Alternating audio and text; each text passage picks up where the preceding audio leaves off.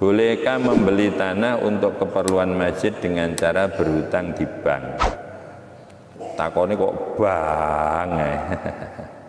Bank itu hukumnya syubhat dan haram, tapi ulama banyak yang memilih yang haram. Apakah boleh pinjam inventaris masjid? Ya, kalau sebatas yang remeh-remeh ya boleh. Ya. Contoh sapu nyileh tapi sedilu, tapi nyileh di setahun ya oleh. Nyileh tangga sing masjid tapi sebutuh apa pun hindari. Karena masjid itu untuk umum dan kita untuk kepentingan pribadi. Apalagi yang sudah berbentuk wakaf.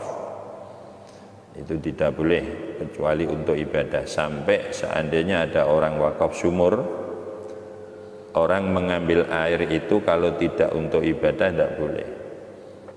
Buat wudhu, adus junub itu boleh kalau untuk nyuci motor, nyuci mobil, tidak boleh, haram.